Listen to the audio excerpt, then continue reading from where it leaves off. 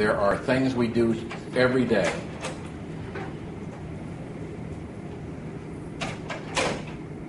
where science impa- impacts us, but it's so seamless that we don't, we're not even aware of it. Whether it's having to uh, take a shower in the morning and have the curtain flow towards you due to a Bernoulli effect, or whether it's uh, driving the, your car.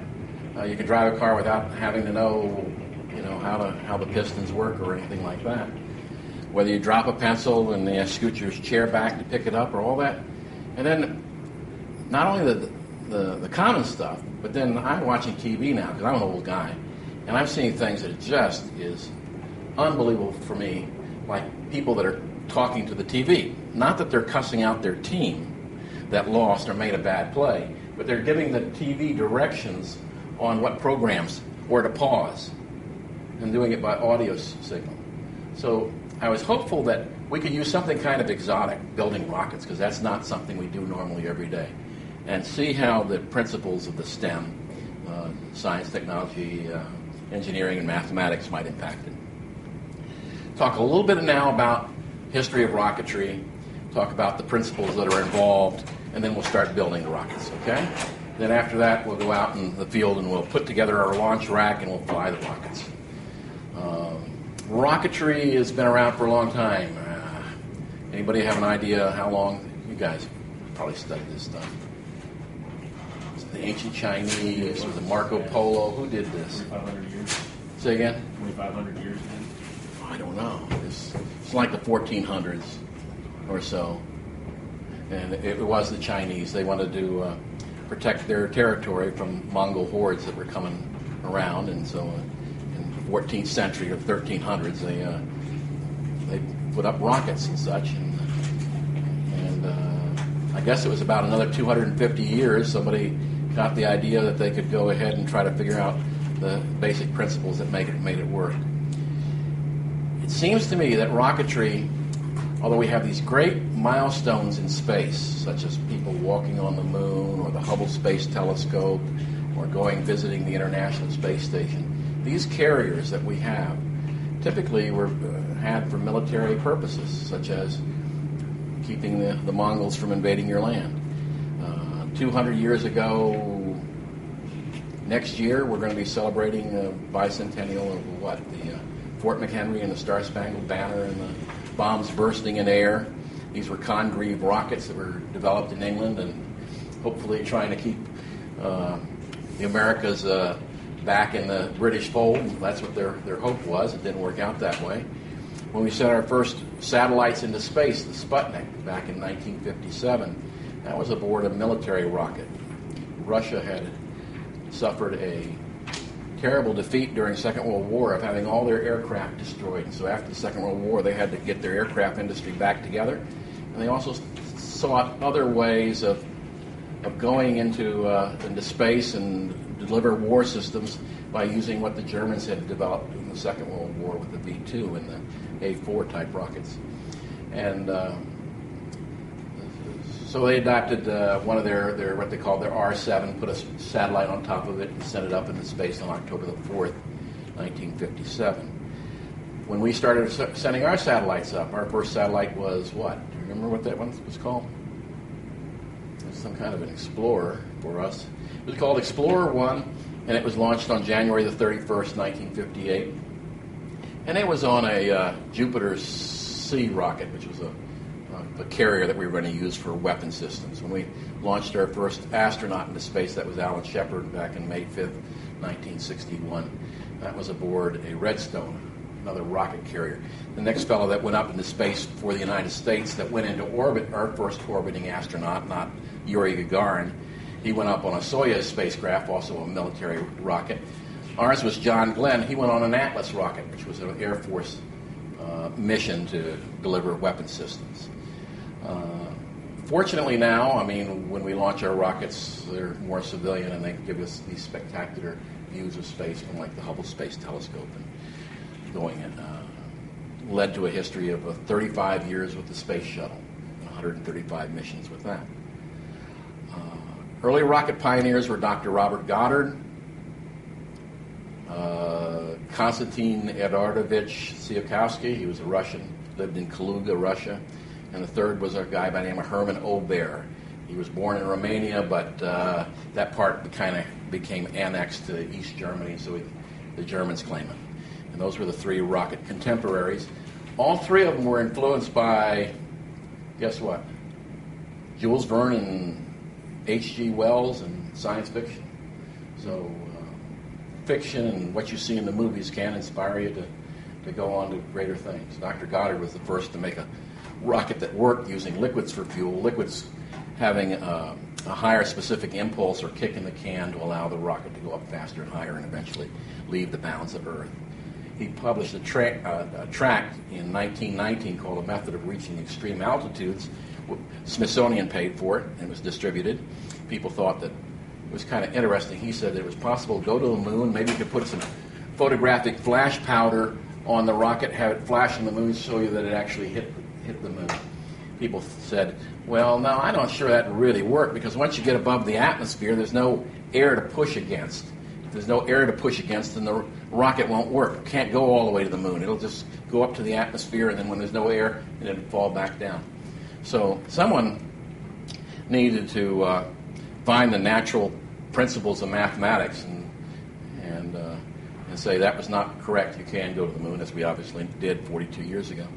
And that fellow that uh, that came up with the principles that guide all rocketry, whether it's Dr. Roberts uh, Goddard's rocket or the space shuttle or the Saturn V that took our astronauts to the moon, was a guy by the name of hmm, anybody know who had the principles of motion.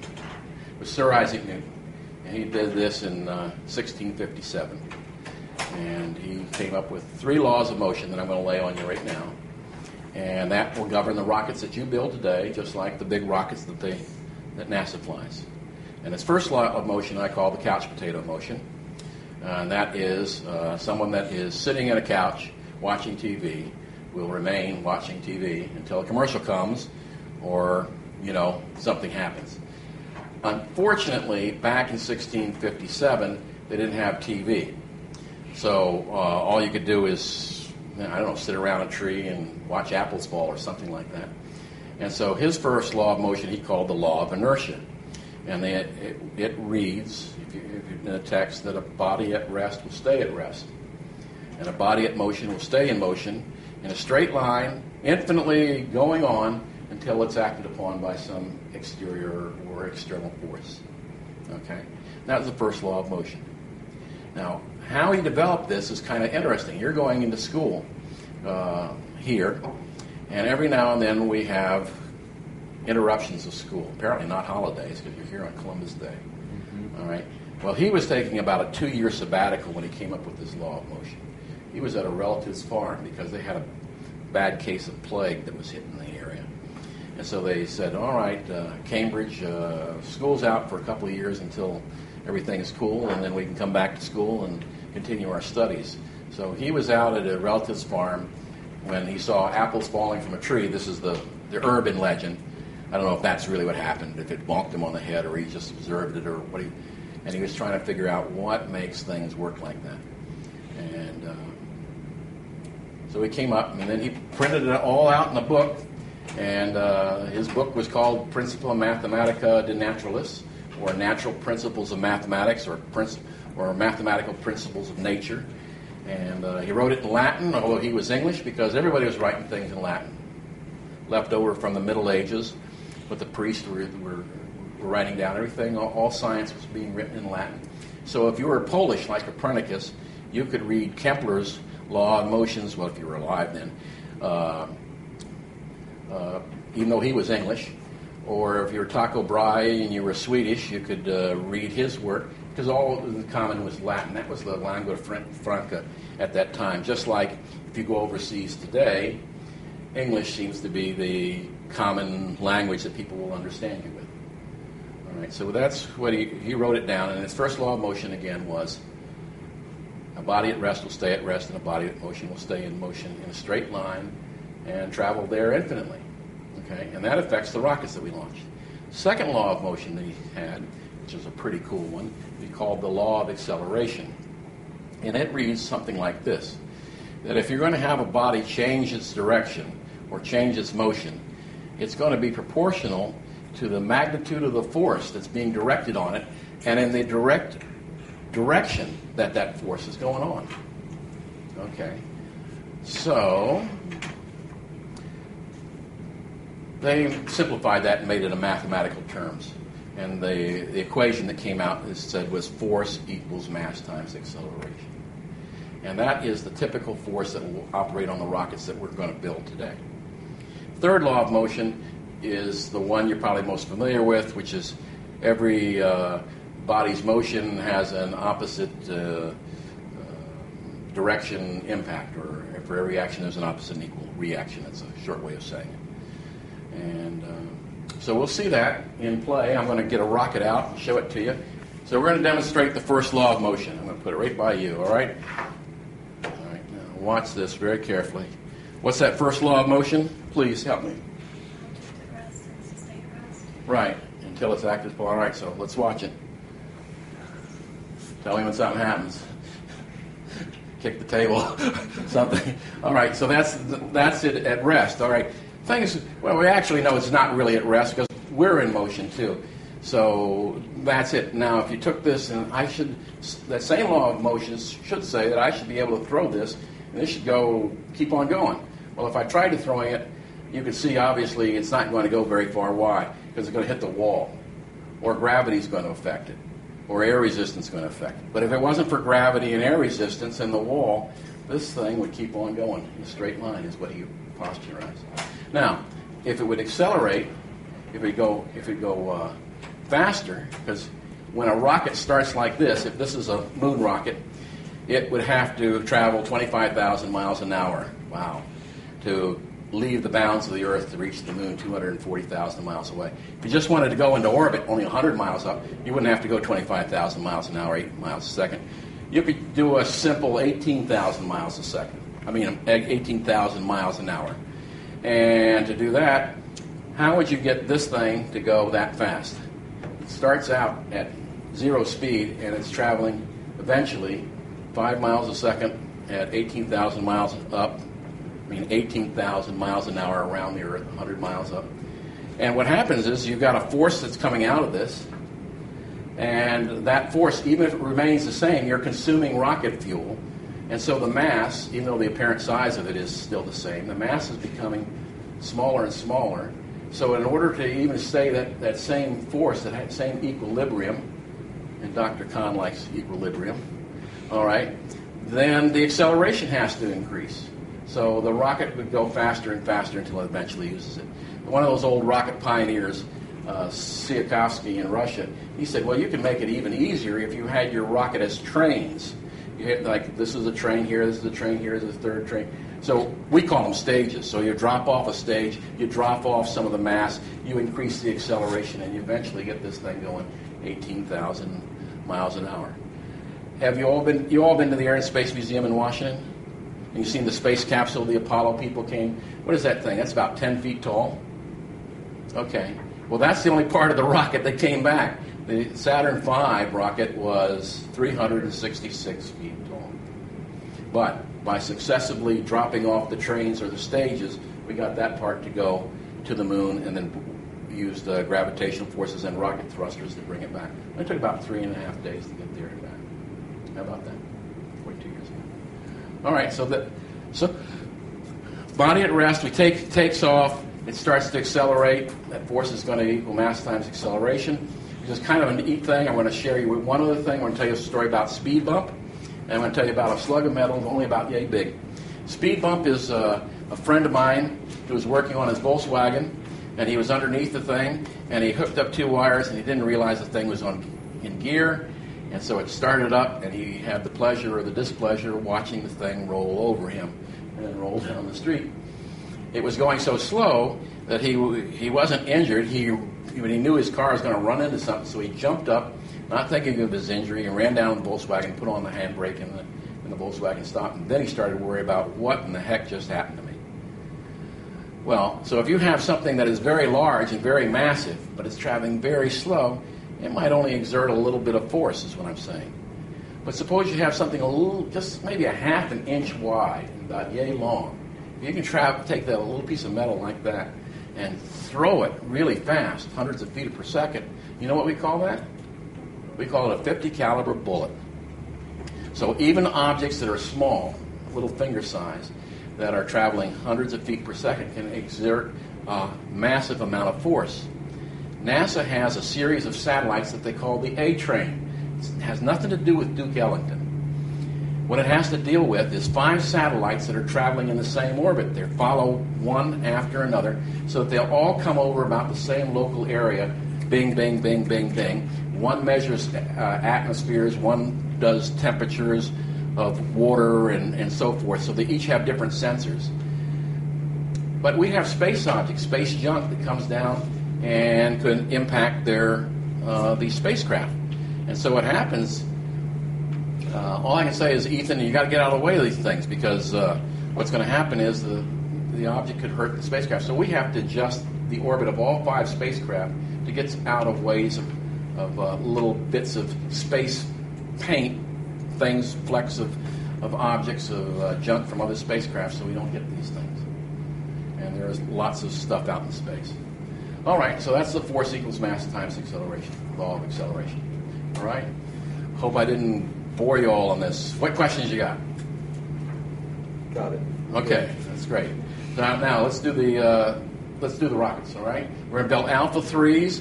Probably some of you have built model rockets before, uh, but this is great. What we're doing, we'll launch your rockets first, and Dr. Khan has asked uh, that we have some other rockets to launch. So we'll launch this one.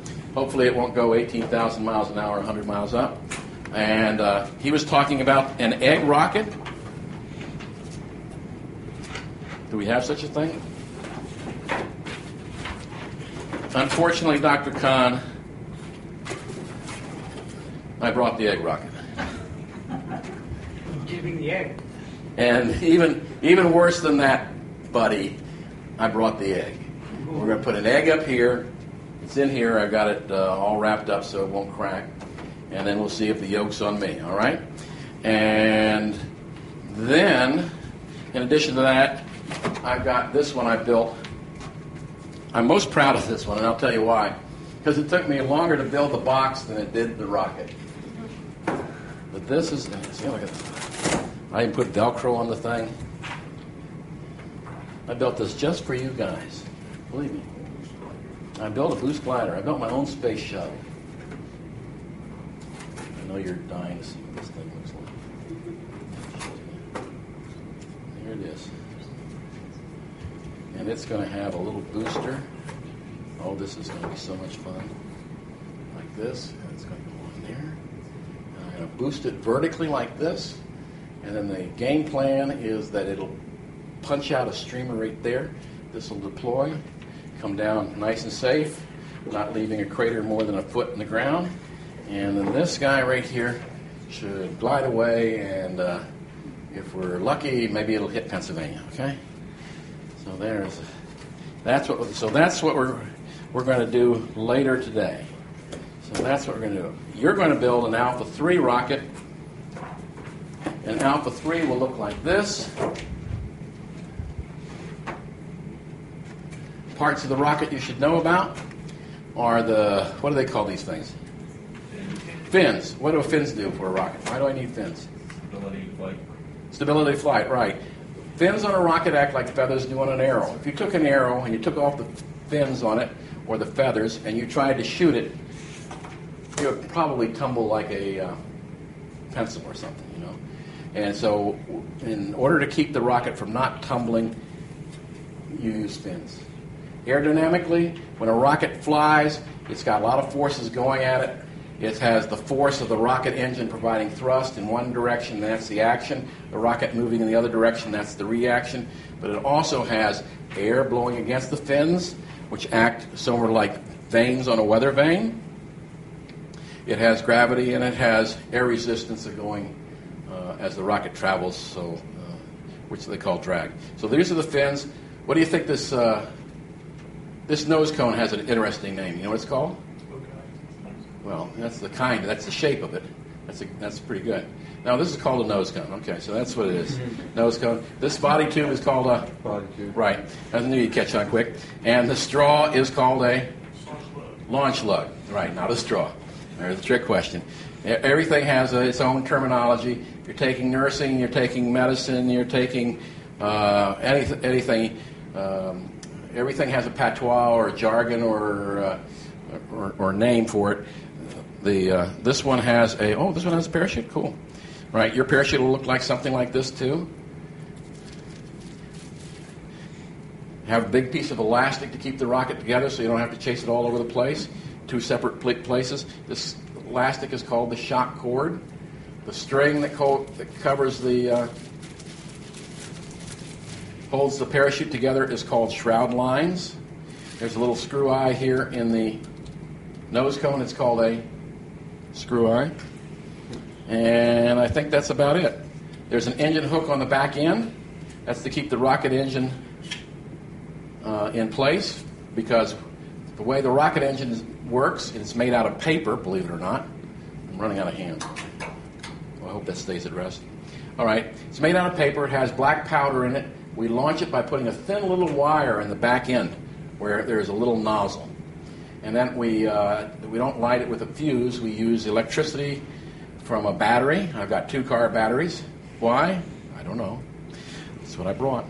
And anyway, you put that voltage through that wire, and that wire will glow red hot like a filament would be in a light bulb. And that's what starts the rocket engine. The nozzle is tapered, it's kind of bell shaped, so the gas that results from the um, black powder being ignited is expelled out the back end. It's very small, just little parts of gas, but it's traveling literally thousands of feet per second, and that generates the force, the action for the rocket to move in the opposite equal reaction. The rocket engine is consumed kind of like a cigarette, providing the power going the rocket up. At the top end of the rocket engine, there is a smokeless trail to allow the rocket to coast to reach its highest altitude. I, I'm thinking your rockets are probably going to go about 75 to 100 miles an hour. They're probably going to go about 150, maybe 300 feet in about a second and a half. Wow, okay. And so what happens when the fuel gets up to this top part, there's a big hole at the top, and the gas has a choice of either exiting this hole at the top, big hole right near where it is, or it can travel all the way back down the end of the rocket engine and go out that teeny little hole. So where do you think it take goes? It goes out the top, takes the path of least resistance. And what that does is it pushes out the nose cone and the parachute, kind of like a piston, and that's what deploys this, and hopefully we'll get it back and knock into a tree. Okay? But when that gas comes pushing out here, what happens? The rocket tries to move in the opposite and equal direction, right? So we have a little hook at the end to keep the rocket engine from being expelled, because if the rocket engine was expelled, maybe the nose cone would stay on, and then this would come down just as fast as it went up. 100 and some odd miles an hour, 75 to 100 miles an hour. All right, well, those are the little parts, okay? Cool. You all ready for this? I went to your cafeteria, and guess what I found? Boy, this, this is the place to live, I'll tell you. Blue trays. Blue trays. If you go to the cafeteria, you will not find blue trays. You know why? Because I have them all. That's the answer, okay? There you go. There you go. Oh, I'm sorry you guys get no blue trays. I only had a few trays, so I'm so sorry. You'll have to settle for red trays. All right, so there. Now open up those darn things and put them in the. Uh, the purpose of the tray is there's lots of little parts like the launch lug and the screw eye, and uh, I really don't want you fumbling around on the floor. So put everything in the tray and has a lip on it, and we'll satisfy it. Now let's see. Our first step. All right, Kevin, I'm going to look at yours. First, so it gives you a part layout. It tells you everything. It gives you some more parts than, than we talked about. There is a Blue Robin uh, engine mount tube. You'll, you, you'll see it probably in there, okay? And there'll be some centering rings. They're usually green. And I think the first thing I want to do is to take the engine hook. And you'll see on the engine mount tube, that's the Robin Blue uh, tube, there should be a slit at one end, and you put the engine hook onto that slit. And you get it there? Okay. All right, I want to borrow your thing. All right. Kevin did that. This is what it looks like when you're finished, okay? Okay. All right, there you go. The next step is what we're going to do is we're going to secure that engine hook by the little band which is looks like a cigar band. So here's how you do it. I'm going to borrow Ethan's, all right? Yep, that's perfect. Uh, open that guy up and give me the cigar please. Oh my goodness. I'm so sorry. Yeah. All right. Oh, this is one. Okay, here's what we're going to do. We're going to glue this little ring, this is what they call a centering ring, onto the engine mount tube about halfway down. This is what it's going to look like. Here's how we do it. You don't mind me doing yours th- this time? Okay. I'm going to suggest this. You take your useless glue, okay, and you put you put around the middle just a small bead of glue. It doesn't have to be a lot. In fact, I'm going to go ahead and just make it a, a small, even bead of glue. And then once you've done that, then slide that centering ring on top of the glue, wipe off any excess glue, and then wipe it off on, on, on the rag I gave you. This is water soluble glue, so it will come out of the wash if you, if you get it on your clothes, but I just assume you wouldn't. But the whole bottom line of it is when you're finished, your engine mount tube secured should look like this. Like that, okay? Go with it. Yeah, what- you want to put glue right around there and then slide it down. Okay? All right, so that's what it's going to look like when it's finished. Perfect.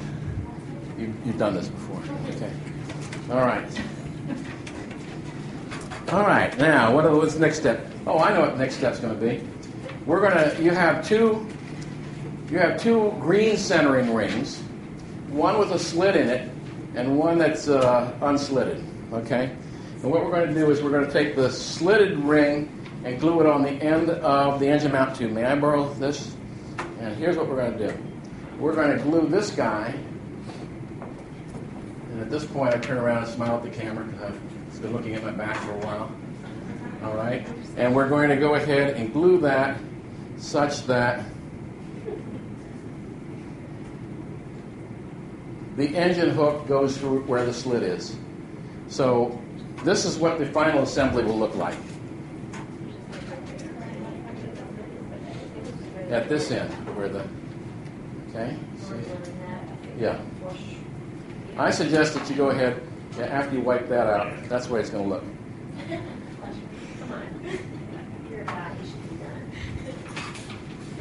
Here's what I'm going to suggest. Uh, if whether you're building a rocket or uh, furniture, you'll find that the, the way to success is to use a little dab will do you, as they said in the old Brylcreem ads. I went to the library and saw those ads. I don't have any direct experience with them. All right. Just a little bit of glue. Thank you. And then wipe off any excess glue. You're just doing this one ring. Don't do the other ring. Okay? Gosh, I want to keep this one. I think this is a good job on. All right. There's, that's what it looks like. You know what you're doing. Okay. Do we ever do? All right. Uh, you're, I don't, don't, don't want you to even look. You're so intent on what you're doing. Okay, so you see what we're doing? We're gluing down. Yeah, okay. Wow, you guys are great. Okay, now we'll put this thing aside. And now, I think what we're going to do is we're going to pass out the useless scissors. Hold on.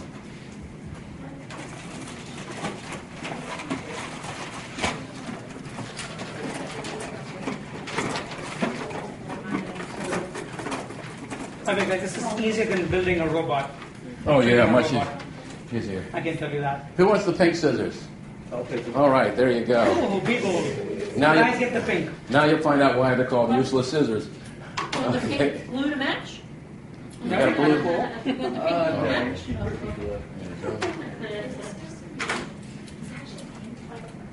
Yeah, you can, this looks good. You got it. Hey, there's scissors that'll challenge you. Okay. Oh, you look like you can handle that one. I like that Come on, I'll give you the sharp ones. Can I trust you, sharp ones? Hey, don't run with it. Give me a quick pair. Just in case I need a good pair. Who else I gave a wicked pair of scissors to? Are you okay?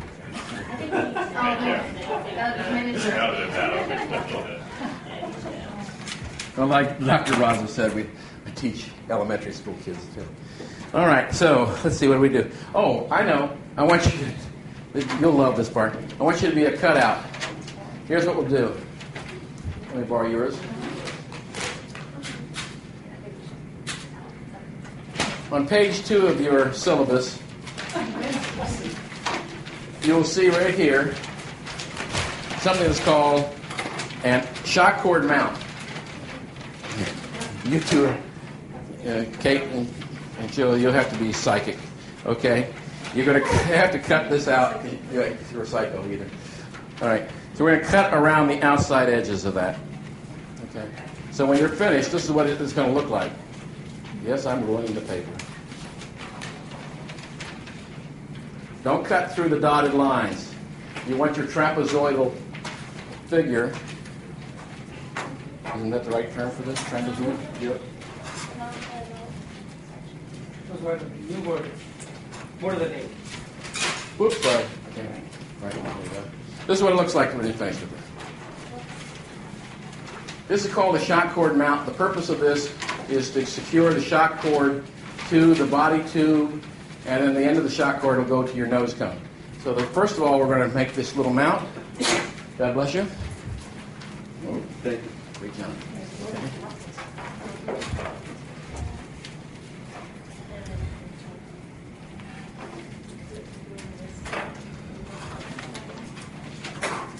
Let's see how you did.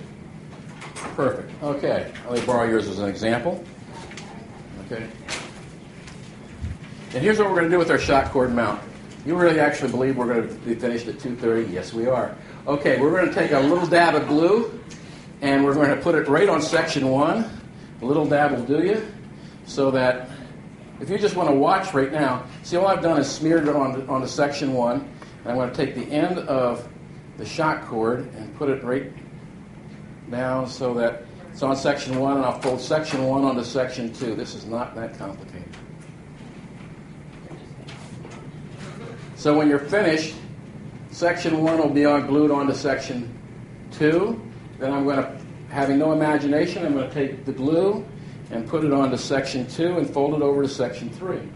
So when you're finished, your trapezoid will now look like this.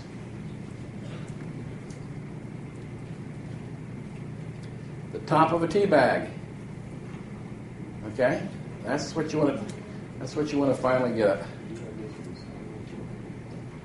You can ask him. Um, Mr. Grayson, he has a question for you. You want it long way down, not straight, not across. I mean, do you have that in there like that? Or Yep. side? That's just like that. You got it right. No matter which side? Nope. Doesn't, I've never seen anyone ever do it that way before. yeah. but, but you're right. It doesn't make a difference from the side. Sure. Hey, great. See how you're doing? You know, we keep it. Oh, you're meticulous. Okay, excellent. Great. Must be. Oh, you're going to town. Everybody's glue's working? Oh, your glue doesn't work? No, it doesn't. Okay. Yeah, third. No, no, no, on, on top. Like this. Yeah, you're doing great. Yeah, you make a tea bag. Yeah. Yeah. Okay.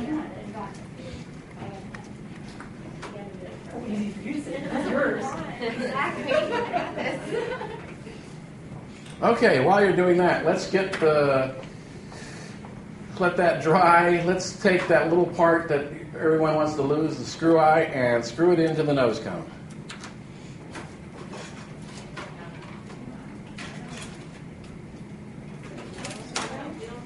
Nose cone's that big orange thing and it's ogive, I understand, in shape.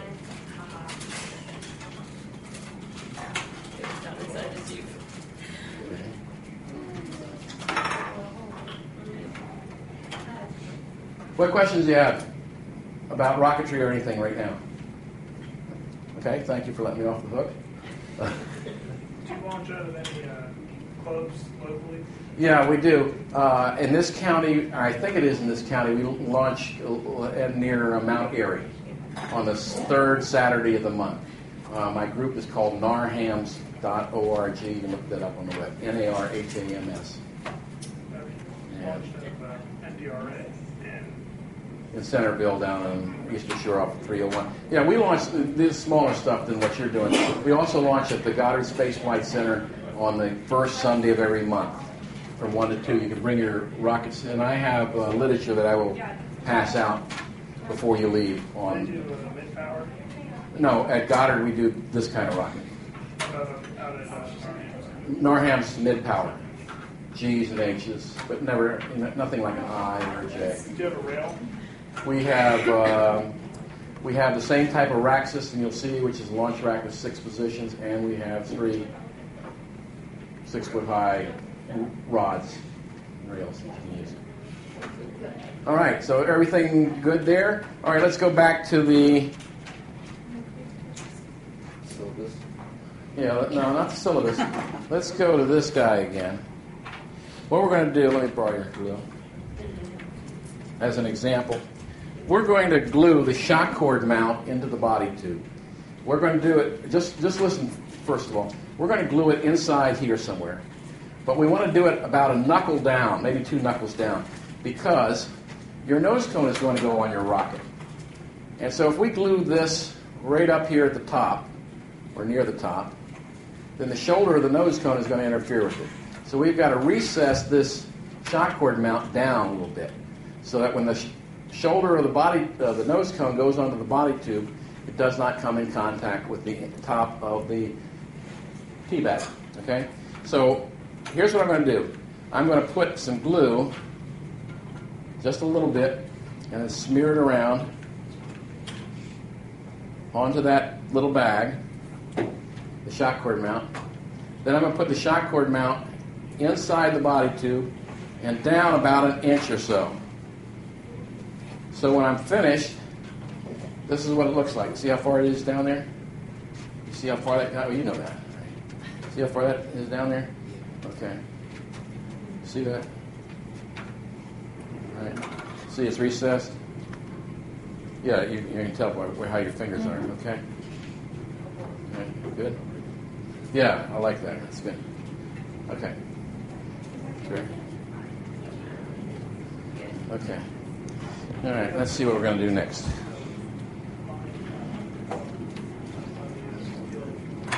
Mm.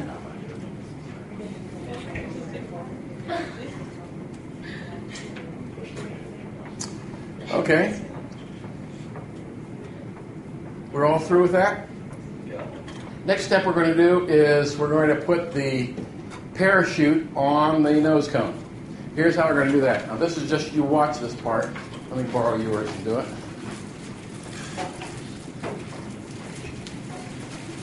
You use that use useless scissors? I didn't bring band aids. Good.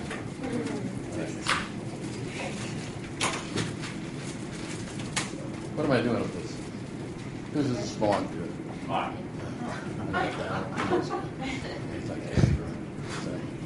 Okay, here's what we're going to do. Here's how we do this. Got your little parachute, and it's like a little spike. Thread your fingers through the loops. I have three loops. And then turn it upside down, and your parachute is now like a picnic basket, okay? All right?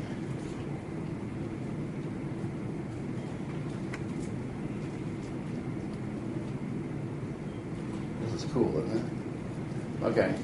Then you're going to take your nose cone that has the screw eye in it, and you are going to thread those three those three loops that's on your index finger right through that hole. Oh yeah. Okay. Easier said than done. So when you're finished, it looks like this. You have to pay attention. Okay, it looks like that. All right. This is what it looks like when it's finished. All right, you got it. Okay. All right, you're doing it. I want everyone to look at Kevin now. Make him nervous. he's the last one. No pressure on anybody. Okay. Here's what you're going to do. Once you've got this thing through, you still have keep that those loops open. Take the top of the parachute and thread it through it, right through those loops, and then pull it straight out. And what you've done is you attach the parachute to the nose cone. Great. Dr. Burgess has it. You know that, you know, our stereotype. Ain't that something? Right, it's like, Thank you. Oh, that was awesome. look at it. Got it. All right. Oh my goodness gracious. Kate and Jenny did that like they've done it before. Okay, you have? Okay. Awesome. How about you? Great. Oh, he's taking a Coke break. All right. Oh, cool. Yeah. Pepsi. All right, Pepsi. All right. Excellent. Okay. You got those open? Thread them through, buddy. Capital calorie. Yeah. Pull it out. Let's keep pulling, man. You got it. Whatever you want to eat lunch. All right. Next step. We are going to go ahead back to the engine mount tube. And here's what we're going to do. You don't mind me borrowing this, do you? All right. We're going to go ahead and take the uh, engine mount tube assembly and we're going to thread it through the bottom of the fin can unit so that the engine hook is between two of the fins. And the top of the engine mount tube sticks out the top of the fin can unit. The green centering ring is completely hidden. So this is what it will look like when you're finished. All right. Keep on trucking. All right. And is it between the two fins? All right. Very good. Right there. Excellent. Right. Oh, you guys are good. Okay. Now, with that, then you're going to take some of the glue, what that other ring, put it around the, just a thin bead of glue around the top, smear it around so it's nice and neat. Ooh. Okay. You know, sometimes these, these, these don't fit. Before you put that ring on, before you put the ring on, take your nose cone and remount the ring a little bit. Make it a little bigger if it doesn't fit. Because then you'll find that when you put the centering ring on top of the engine mount tube, it'll fit very nicely. Wipe off any excess glue. Neatness counts. Remember what they used to tell you in high school? Straight A's start with a clean locker? Okay. Okay. So this is what it looks like when it's finished.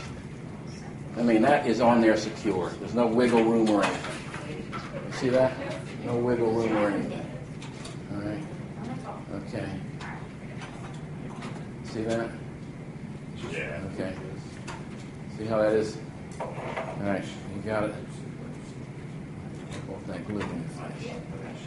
Okay. Yeah, I did it. No, no pressure. Do, Kevin? Got it, okay. All right. Okay, what are we gonna do now? Yeah, what the heck, we'll do that.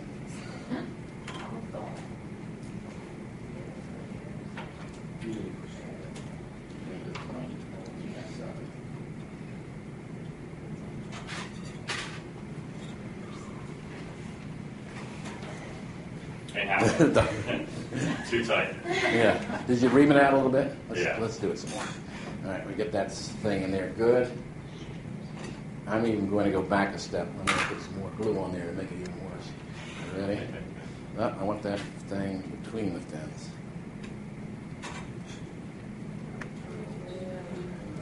You get a half, half twist. Okay, there. No problem. Okay.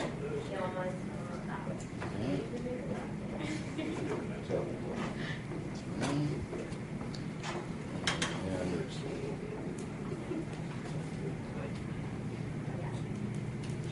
there we go. Mhm.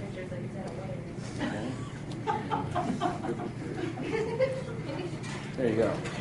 Don't worry. Wait a second, how can I be your thing? Oh, you- you're letting him one? And a Okay. long slide. All right. Let's take the end of the sh- shock cord and tie it to the nose cone at where the uh, through the screw eye. So at this point, here, here's what I'm saying. Your turn, right? No, your turn. So. Oh, cheater. She okay. wasn't gonna tell you. That's all right.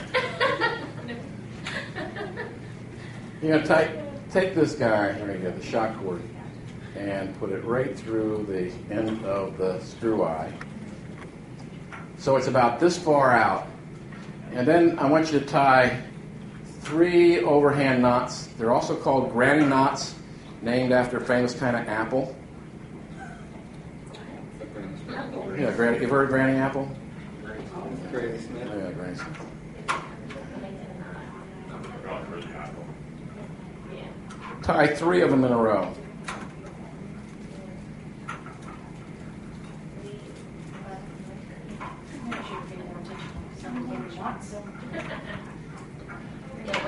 Okay. So when you're finished, you got your, your assembly looks like that. I should caution you, granny apples have nothing to do with granny knots. Yeah. I don't want to leave you misled on that. All right. So we-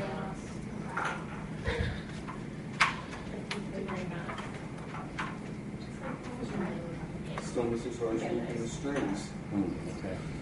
Question. Yes. What, What is are a you granny? What? What is it? granny Just the kind you start. Overhand. Yeah, just a shoelace. Yeah, shoelace type. heard about that. When everybody knows. Me neither. Yeah. Right. All right. If, when you're all finished with that, I have a treat for you. Are you all through? No, her man. Your rubber band broke. Oh, Shot cord. sucks. The shot cord. Yeah. Okay. Technical terms here. Okay. This is called a square knot. Right over left, left over right. No, square knot. Right. They're used with two ends that are the same diameter, and so when it pulls, it pulls equally on them. Again, it's right over left, left over right. Do the square knot. We're going to take the fin unit and we're going to glue it to the body tube, opposite end of the shock cord. So what you want to do is just do a test fit, make sure that this will fit in. And if it does fit in good, then put some glue on the inside of the body tube, like this, just on the inside. Smear it around, Okay, the inside of the body tube. Yeah, inside of the body tube, Started going outside. Um, and then take the fin unit. Oh, that's okay. That'll, it'll work that way as well. But this is the way I do it. And then turn it and then give it a twist so that they glue, and then set your rocket upright. Now it's starting to look like a rocket, right? Right? It's your turn, right? Uh, It shouldn't be. Shame on me for twice, right? We're going to take a launch lug, and the instructions say put it here about the center of gravity, but I find that's a little too rough. Use your thin uh, joint between the fin and the and the and the tail can, and just glue your straw or your launch lug onto the side so it'll look something like well, not like that. I don't know. You only put a little bit, just a little dab of glue Do you put it to secure it. on oh, the same? Yeah, you can put it on the same side or a different side of the where the hook is, but something like that. Yeah, and there you go. You- I think so. Just like that. Something like that. Okay. Okay. All right, so here's a question for you. We said that the rocket engine that makes these work is going to push out the nose cone like a piston and deploy the parachute. Well, that's a bunch of hot gas. We won't dwell on that one. a bunch of hot gas that's pushing this nose cone out. What keeps this flimsy piece of plastic, which looks thinner than my garbage bag, from melting or getting peppered with hot air? And the answer is we buffer that hot gas with some paper so that the paper takes the brunt of the heat and not the parachute. So I'm going to pass out some of that to show you what it looks like. This is called, look at this, they actually have this for sale. It's called Model Rocket Accessories Recovery Wadding. All right, can you do me honors with the scissors, please? All right, thank you. I'll open this up.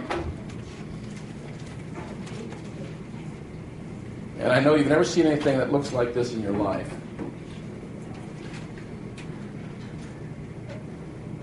It's a toilet paper.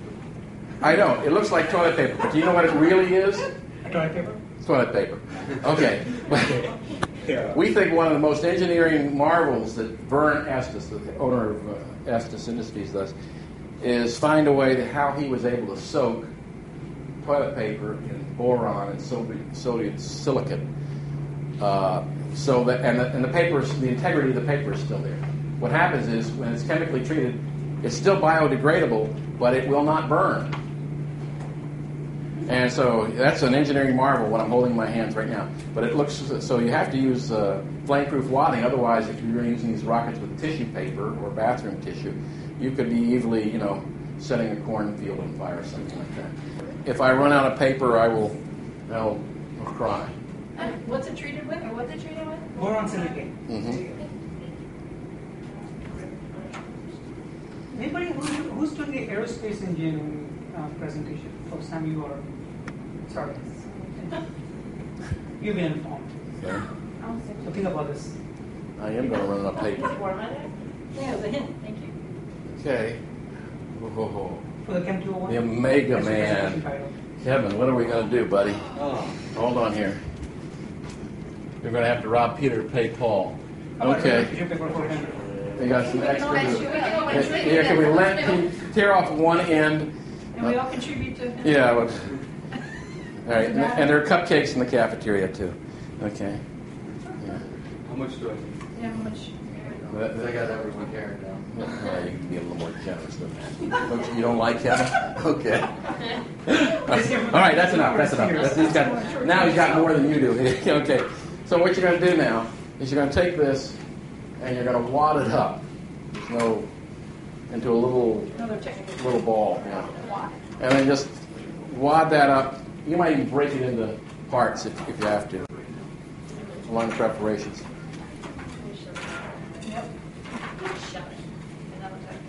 Wad that guy up there.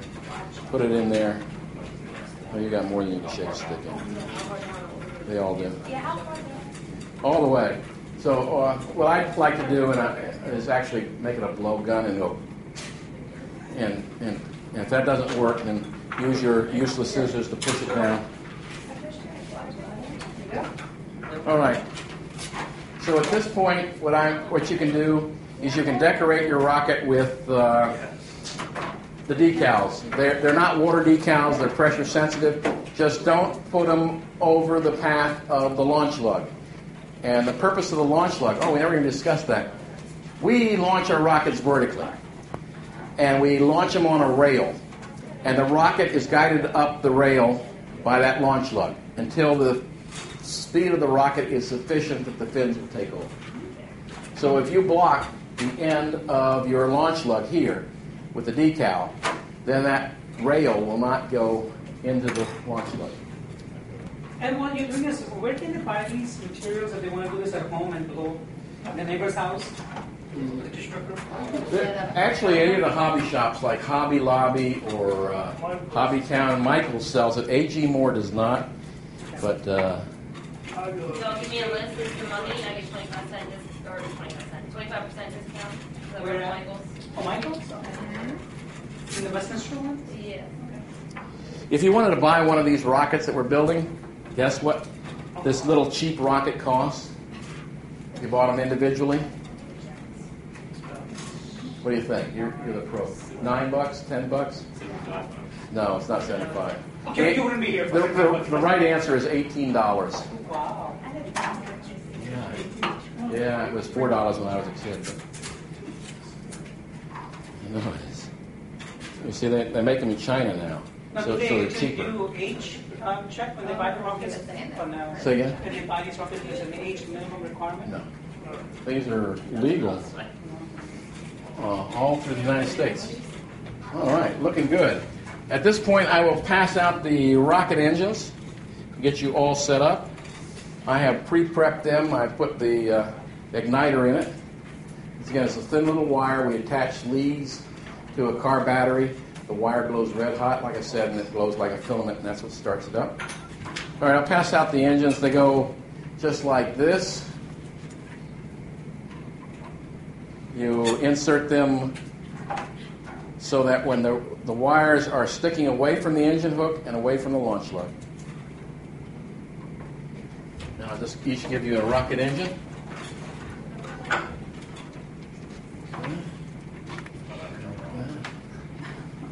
Oh, that was hers. Okay, there's yours. All right, there you go.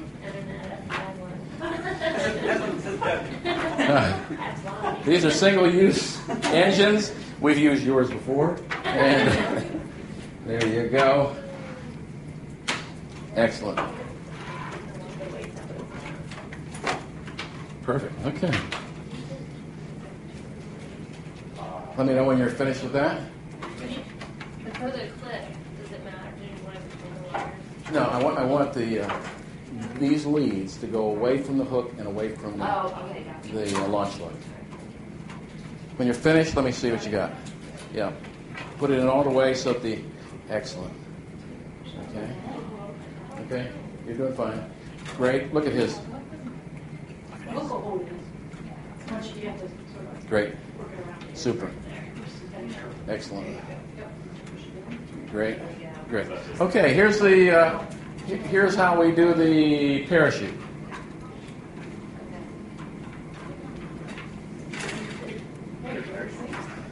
You kind of make it, uh, make the parachute, what, what do you call it? Triangular? Then fold it over again longitudinally, so you're making a little spike out of it. Then when you got a nice little spike out of this, then give it an accordion fold or a Z fold, like a Z fold if you're English. And uh, like this, triangular fold, and then stick the point in first. Follow that with the shroud lines, the string, and then lastly the rubber band, the shock cord. Top all that off with the ogive nose cone. Get the rubber band. Launch lug. Okay, yes. Shock, band is left. Shock cord. shock cord. Uh, That's, oh, that's really neat. Okay.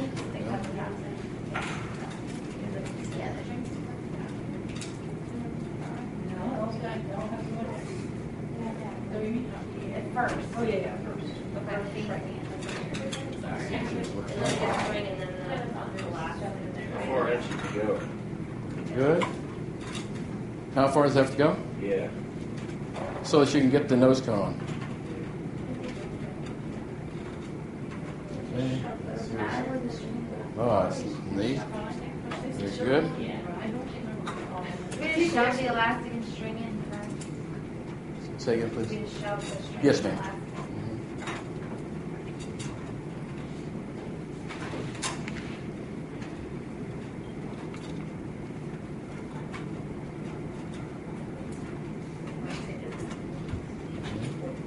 Still working on yours? Let's see what you got. Looks good. Okay. I think we're about ready then. What questions do you all have? I think you all did really well. Why don't you give yourselves a hand? I think that was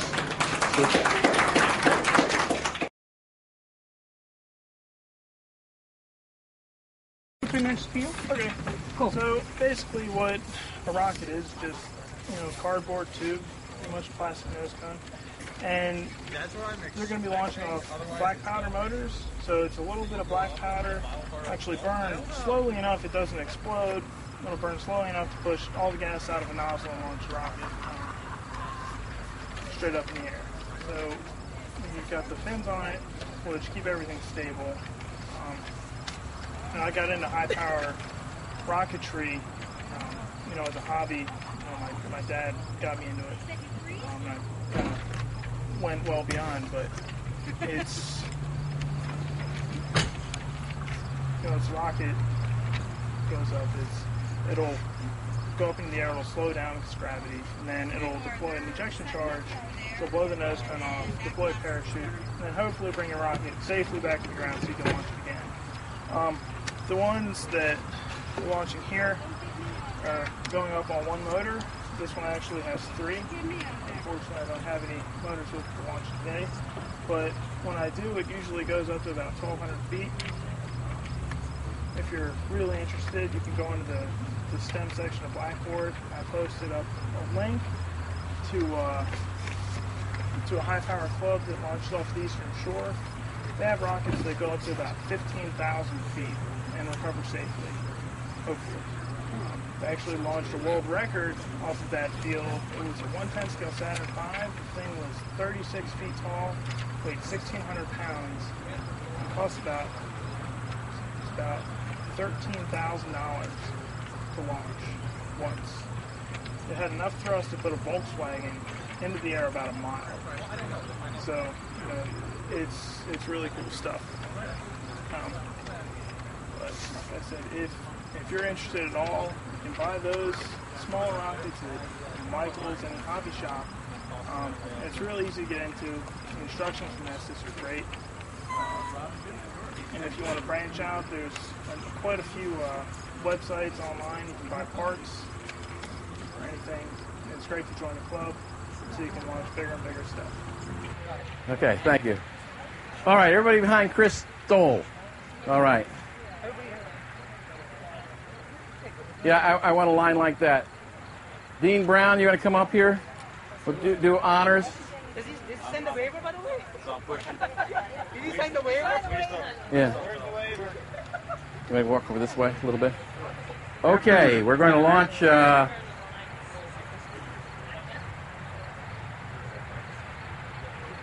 Dr. Raza Khan and Dr. No, oh, Maria Burgess's uh, STEM Club and the Kids STEM Club or the Student STEM Club. And Dean Brown is going to do honors with the first one on the rail. And here's how it works Dean Brown, you're raring to go, and we'll give a loud countdown, and then you just press that launch button, and it should go at T minus five, four, three, two, one, launch. Wow. Way up there, arcing over. Nice long streamer on it, heading right down towards that laptop. Wow. Okay, and that that starts our uh, our STEM club activity for 2011-2012 school year. Hooray! All right, now we're going to have the students, and it's going to be Crystal. You're going to be on number one. I'm going to pull the plug, and let's see. Kate on two, Jenny on three, Justin you'll be on four, Megan you'll be on five, and Prince you'll be on number six. Okay, and we'll start you on the next one.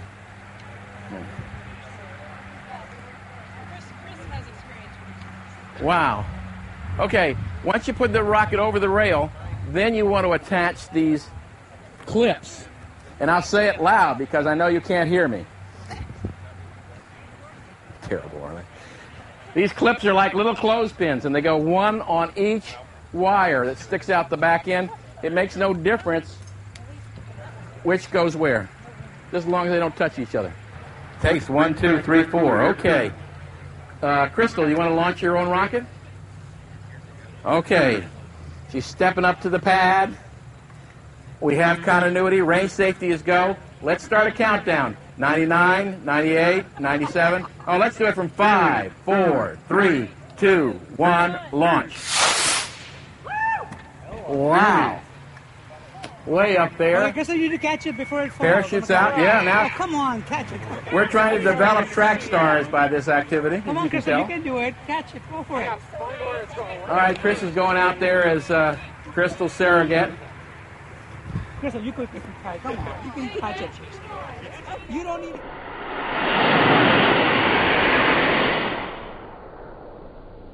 You don't need him. I can't see it, it's too high. Oh. Okay, well, we'll try to do that again. Now, uh, Raza, you gave me a cheat sheet, and I promptly lost it. But tell me, I, I see some students here with. Uh, are, are you with the police department? What are you taking these notes for? Oh, we'll return it with all the answers. You're going to get an A. Okay.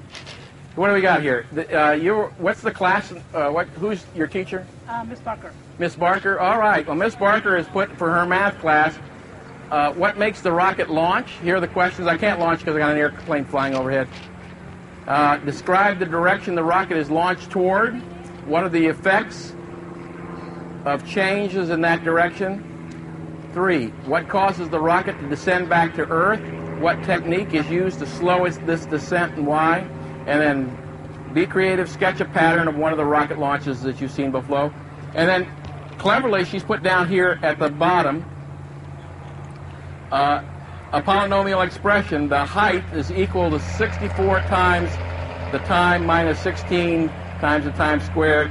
We're using that expression. How high is the rocket gone after uh, three seconds? And this young lady has, has figured it out to be 192 feet. And when will the rocket hit the ground? You can kind of predict that as well. So there, there's ways that you, if you use trigonometry, you can use the sine formula and the tangent formula to calculate how high the rocket went up. Uh, the class of the STEM students here, we talked about three laws of motion that Sir Isaac Newton talked about. He said that a body at rest will stay at rest, and a body in motion will stay in motion till it's acted upon by some force, like gravity, air resistance, and uh, what else? Otherwise, it would just keep on going up. Gravity and air resistance are the principal ones. And the other force that's going on is, is the direction of uh, propellant that's uh, powering it. Because for every action, there's an opposite equal reaction. And the uh, change in the body's direction is due to the uh, magnitude, is, it's proportional to the magnitude of the force and then the direct direction of that force. So when gravity and air resistance uh, hit those rockets and aff- affect them, then otherwise uh, the rocket would continue going right up to the moon and we'd have uh, uh, Nobel Prizes for each of you. All right, who's on two? And it is Kate, right? So Kate is on two. We will cycle the rack. We're ready for two. And help me with Kate's count at five, four, three, two, one, launch. Okay, you need to catch before it falls on the ground. All right, Kate is off to the races or not. You're better than Chris. Now you can see that while Kate's rocket's coming down, we guide the rocket up the first three feet of flight by a rail splashdown here at Carroll College. We use the rail to guide the rocket up the first three feet of flight until the fins will take over, kind of like feathers do on an arrow. There, there's a rocket engine in the back end of the rocket, and uh, uh, we, we launch it by uh, electrical means. We have a thin wire that uh, is in the back end of the rocket engine, and it uh, glows red hot, and that's what starts the propellant. And the propellant is uh, essentially black powder. On three, do we have Jenny? Is that right? All right, Jenny is ready. Where's our airplane? I hear him buzzing around. He's over there. And he's fl- flying away from us. So Jenny is ready to go, and the countdown has commenced at five, four, three, two, one, launch. And there goes Jenny's rocket way up there. Parachute out, fully deployed. You guys are doing great. Why don't we give them all a big hand? Aren't they doing super? And we've got more to come. Mother Chris. Yours is that's mine. Yeah, Okay. Okay, Justin, are you next? All right, he's on number four. The pad is cycled to four. Range safety is go. The panel is armed. Time is running. At T minus five, four, three, two, one, launch. Oh. And the fins on the rocket act like uh, vanes on a weather vane, so it would cock in that way. He, his straw was not at the longitudinal axis. It was off to the side, so the rocket went that way. But because the wind is going here, Justin, you should be able to get that one back eh, with a broken ankle. Okay. And down the culvert he goes. All right. And you didn't think minus was important enough. And um, Megan, you're next, right? All right. Megan says, fortunately, she was here. So I heard what you said. So here we go.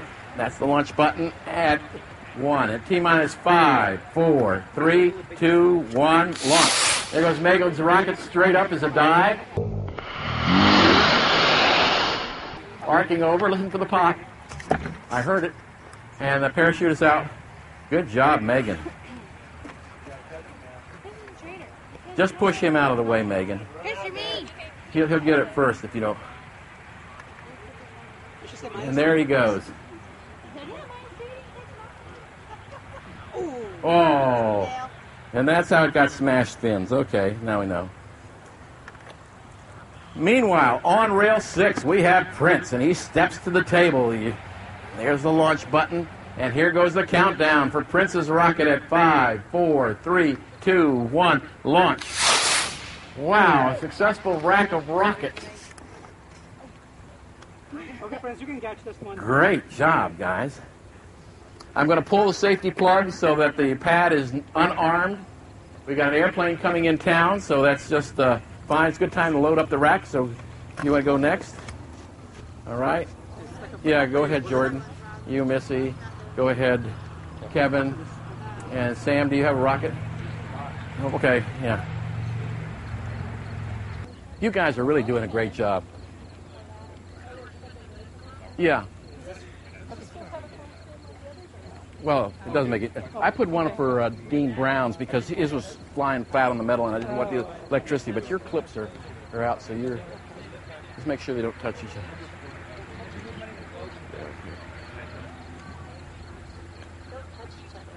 Yeah, because you want the electricity to flow through the wire, not through the clips.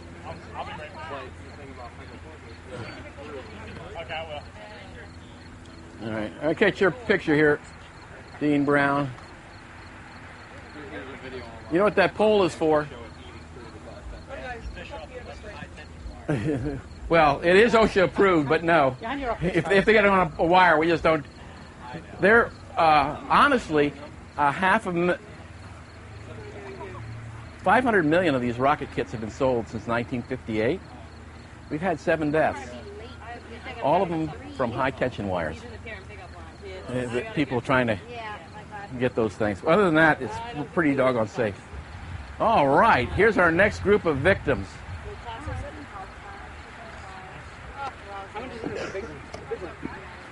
Okay, here's what we're doing. We're going to have this next rack, and then I have a, a few miscellaneous rockets that, that we want to see. And first up, we have Ethan, right? And Ethan, you're going to, going to put the safety plug in. We're going to check continuity. We're good to go. And so Ethan's rocket's on rail one. There's the launch button. Uh, appropriately at five, four, three, two, one, launch. There goes Ethan's rocket. Holy cow, Ethan. Great flight. Like a little flag coming back down right into our area. Oh, snatched from the jaws of death.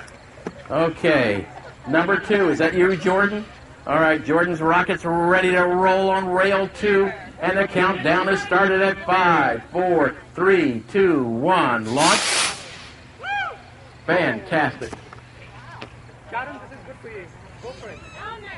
Now, all these objects, whether it's a cannonball, whether it's a cannonball or a rocket, they all descend at the same rate. There's a mathematical formula for it. I'll let you in on the secret they fall at the rate of 32 feet per second per second, except for the first second because there's inertia. Then you have to uh, give it a half rating. It only goes 16 feet the first second. But you can calculate how high a rocket went up just by how long it takes it to come back down. All right, rail number three. Who do we have? And it's Sam. Sam is stepping to the rack. He has the big rockets in the background, and Sam is ready to roll at five, four, three, two, one, launch. And there it goes, straight as a die, arcing over, parachute is out, and deployed. And Sam, we'll see you back here in November. Okay? Yeah, it looks like it's far out. Gosh, man, I gotta explain the jokes too.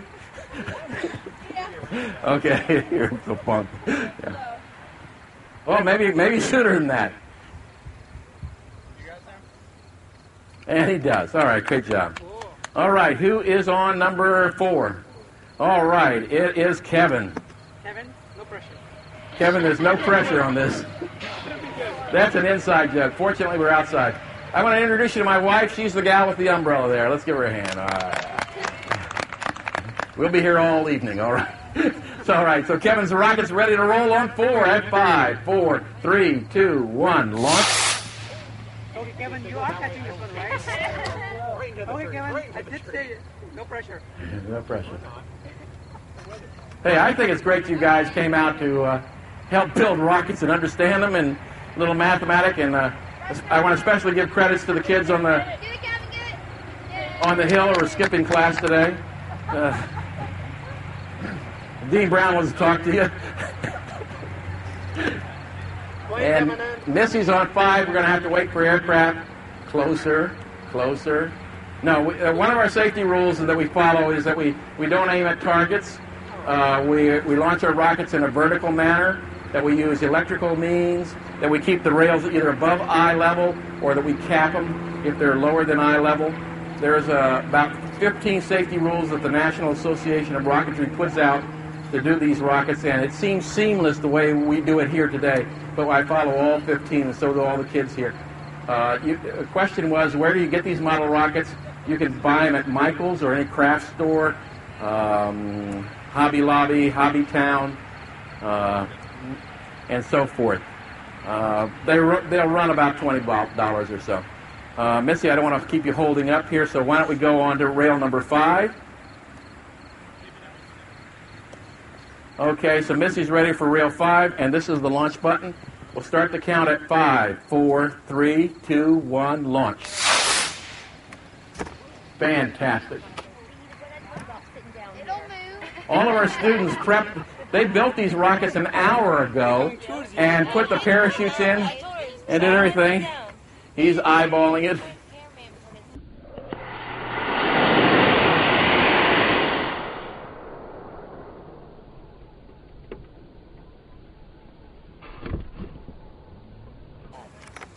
He's running like a like a like a demon, a very slow demon. Okay, and he's got it. Great job. Okay. All right, this is the ringer here. This is uh, this is our math teacher here. Let's see how she does compared to you guys. Okay. Unless it explodes. Yeah, unless it, don't say that. Okay, you know where the launch button is? Sure. All right, right. The one that says launch. That's right. All right, so you. Yeah, you can stand behind me. All right, help us with the countdown. This is this is the math department head. Ready? Five, four, Three, two, one, launch.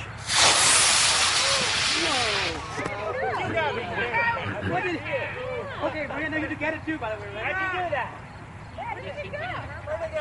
Oh, is that the one that's supposed to up the Cape thing, by the way? What happened there? Wow, well, you must have built your rocket better than anybody else's. Okay. I don't know. I, I, I think it maybe went to Mars. Remember, a body in motion will. Really, can you see it up there? The, the guy on the hill is. He's either pointing at a, a crow or. It is dizzying, I know that. Okay, you, you're the only one that can see it, so. You, Wait till our other poor eyes. You still got it? No, he says it's still up there.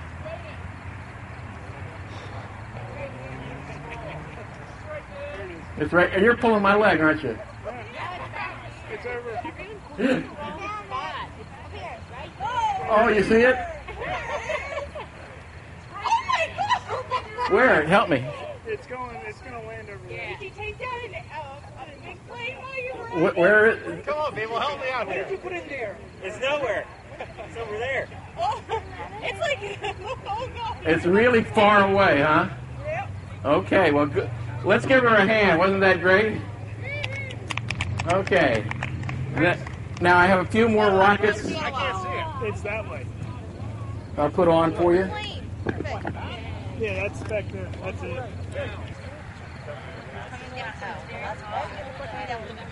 Right. Okay, here's some answers to some questions. Why did some of the rockets go off this way versus that way? Uh, we don't have much wind, so I, I discount wind as an, as an example. I noticed that, for instance, I think it was. Uh, I, I, it wasn't Sam's rocket. It was. Was it yours, Justin? It, it headed out that way, and then it came. But he, when uh, the way these are attached on that rail is there's a little straw glued onto the side of it. We call it a launch lug. Well, his straw was a little off canter, so it wasn't along the longitudinal axis. It was off a little bit. That's why I stepped pat to the pad before he launched and looked at it just to be sure that it wasn't the glue wasn't coming unloose. And because it was off canter, then the rocket would kind of corkscrew as it goes up. I think get it. Right. It's, And then some of them, like Sam's, went up straight as a die. and It's because this was uh, perfectly aligned. No, it's not. But then also, we have a little bit of wind. You can't te- tell from right here, and especially about even with the tops of the trees. That's what I look at. But it is blowing it this way. So the rockets would have a natural tendency is after they get up, they start heading into the wind because the wind will blow on the. Let me borrow your rocket, Kevin. The wind will blow on the on the fin like a weather vane does. So it, it should naturally tend to head over towards that airplane is above our head. And then when the parachute comes out, because there is a slight wind, then it'll blow back down where Chris has been recovering. So that's a little bit of an explanation. Another explanation is we can vary, obviously, the power of the rocket engine.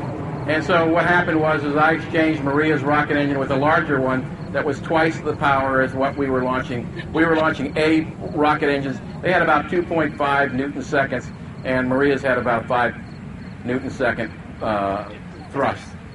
Okay. So that's that's the reason for that. All right, I got one more rocket to put on the pad, and then we'll be ready to roll.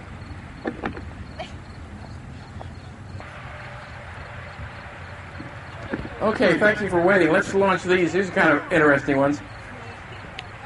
I, I just brought some to uh, show you a little different uh, assembly. This one is called, uh, except for the nose cone, this is called a Big Bertha. Uh, this might, some of you have launched model rockets before, and some of you this is new. But the hobby has been uh, commercially available since 1958, and uh, believe it or not, that's when I started with it. I'm now in my 53rd year of launching these darn things. I think I'd learn after a while, right? And this kit, the Big Bertha, became commercially available uh, from Vern Estes and Estes Industries back in 1961. And so a lot of them had been sold. So here's what the Big Bertha looks like on Rail 1. It uses the same rocket engine that we used on Maria's uh, rocket, except that it has a, a much bigger planform, such much more lateral area. And so as it accelerates, the drag force is doubles on it. Uh, again, that's the opposing force, and it's the uh, force equals mass times acceleration. So with that, we should we shouldn't see it go as high as we saw Maria's. But let's see, T minus five for the gold one with the black nose cone on rail one. Obviously, it's going to go in that direction and hopefully blow back at four, three, two, one, launch. All right, up, not as high. Parachute out, fully deployed. Those pieces of paper that are coming down are called recovery wadding. It's used to buffer the hot gas.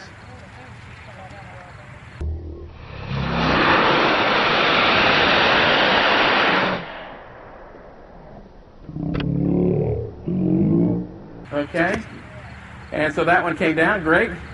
Number two, what will it do? It looks like a little flying saucer. And uh, this one's kind of interesting. It's entirely made out of styrofoam. It's called featherweight recovery. Instead of using a parachute or a streamer, it should just plop back down safely. However, it comes back near you, just uh, get away from it. Here it goes with two, our little Raider, as it's called. T minus five, four, three, two, one, launch. There goes the Raider. Heads up, please.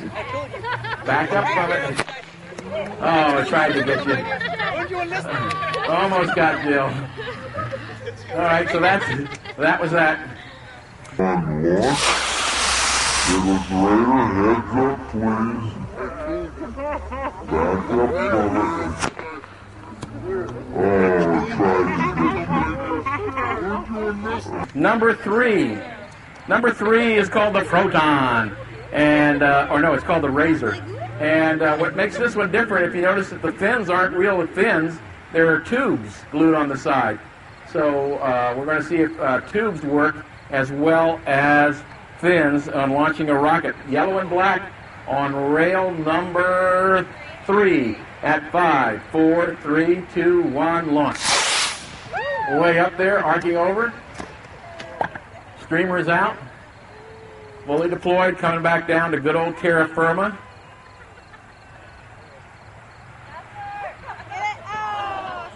Wow, nice try though. Give him a hand. Wasn't that great? Number four is a payload model. You can put an accelerometer on your rockets and measure acceleration. You can put an altimeter in there and me- measure by, by using air pressure. You know, air pressure is hi- uh, lower, uh, higher here than it is up there. And by measuring the difference in the barometric pressure, you can determine how high your rocket went. Also, if you want to see uh, Lincoln fly, you can put a $5 bill in it. Okay, so here we go with the payload model on rail number four. And panel is armed. Time is running at T minus five, four, three, two, one, launch. All right. Oh my goodness gracious. And parachute is out. Really good. Whoa! I, I love that. That was a good one, man.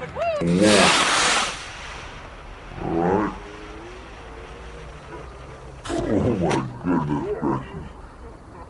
And parachute is out. Really good. Good one, man. It was almost a dance move. That was neat. Okay. You see the one on number five? I, I better be getting extra points for this, Dr. Raza. This one is the, the piece de resistance. I have to go to French class and find out what that means. But uh, it's not the last one. I've got one rocket to launch before it. This one is another payload rocket, but this one, instead of carrying Lincoln uh, $5 bill or accelerometer, it's carrying a fresh hen's egg right out of the ice box. Um, I, I had to sign off on it with my daughter this morning. She didn't want to give me the egg, but I got it anyway. I told her I'd bring it back. I think the yolk's going to be on her. Uh, so, um, before I launch this, I want to sh- show you a different type of payload. We're going to launch the glider. Here goes the glider. Now, this one is a little ticklish, and I'll tell you why. Uh, uh, yeah, it's it's got to go up straight, and the clips can catch the back end of the tail of this glider, and then hold on to it, and then the thing can go cockeyed. Uh, so I, I don't know if the clips are going to catch it or not. Uh, for safety's sake, I'm going to ask everyone to stand on this. The idea is it goes up like the space shuttle as a rocket, and then the pod pops off with the streamer, and then the glider comes back down. This is called a Delta B. So range safety is go. The panel is armed, and time is running on rail number three at five, four, three, two, one, launch. Here's the boost phase. Oh no, phase. Okay. And then there's the glide phase. Right to the table. Isn't that something? Somebody's car, Beaver. Somebody's head, Beaver. Somebody's car. Touchdown. How about that? That was fantastic. All right, now to the piece de resistance.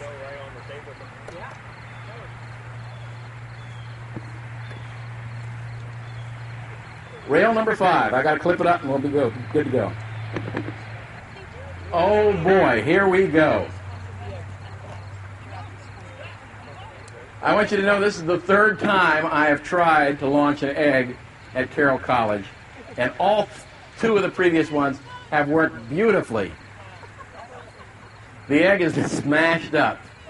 The first time, I didn't put enough tape around the uh, the nose cone. That's what that blue stuff is, and so the egg just had a free fall.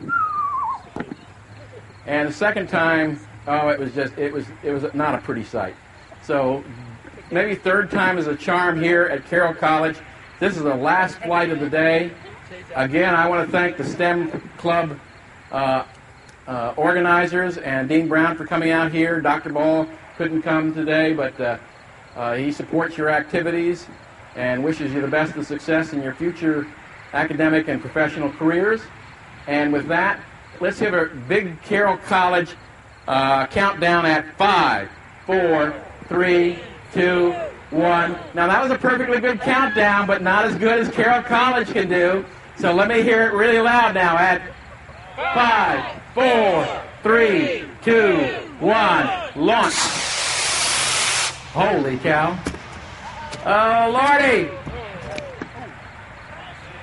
Okay.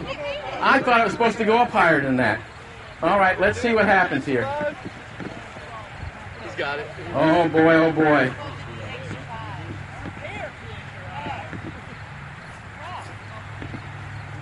I need to put a bigger engine on it than, uh, than that. Yeah, let's see. And uh, of course, uh, students, those rockets that you built, those are your rockets. So you take those home. I don't want to see them again. And let's see what happens. Ooh, ooh, ooh, ooh. I don't know. I need an impartial observer over here to, to judge this. Does it have a face on it? It has a face. Oh no, Mr. Bill. Let's see. Oh no. Oh no. He's okay. I don't know. Let's see. Yeah. He wouldn't fit in. It didn't fit in the nose cone when I put it in there. Um, oh no. But he, hey, he made what do you it think? though. He survived. Yeah, Jordan says it's okay. I think it is. I think it's a success. Good job. All right, you're in. Oh, and Chris brought back the glider. You're the man. Great. Took me a long time to build that box. oh, great. Right, Ethan. Well, that was a successful day, I think. Thank you so much. It's great, great meeting you. See you. Oh, yeah, yeah. Okay. yeah.